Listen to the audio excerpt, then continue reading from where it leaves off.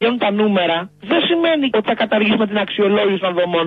Εάν έχουμε βρει παιδί την αξιολόγηση 150 γιατρούς που πρέπει να πάνε να την πρωτοβάθμια σε δευτεροβάθμια, σε ειδικότητες που δεν τα χρειαζόμαστε δευτεροβάθμια. Δεν είναι πιο σοφό να προκηρύξουμε 150 θέσεις και να πάρουμε γιατρούς που χρειαζόμαστε. Οι δηλώσεις του Υπουργού Υγείας προκάλεσαν την έντονη αντίδραση των γιατρών. Όπως ισχυρίζονται οι εκπρόσωποι των ιατρικών συλλόγων, κατά την χθεσινή συνάντησή τους, ο Υπουργός Υγείας διαβεβαίωσε ότι δεν πρόκειται να υπάρξουν απολύσεις. Ωστόσο, λίγες ώρες μετά σε νέες δηλώσεις του φάνηκε ανακόλουθος, όπως εξηγεί ο πρόεδρος του Ιατρικού Συλλόγου Αθηνών Γιώργος Πατούλης. Θεωρώ ότι βρισκόμαστε μπροστά σε μια περίπτωση ανεκολουθίας που είχαμε δει και σε άλλους υπουργούς τα τελευταία χρόνια. Εύχομαι να μην συμβαίνει κάτι τέτοιο φυσικά.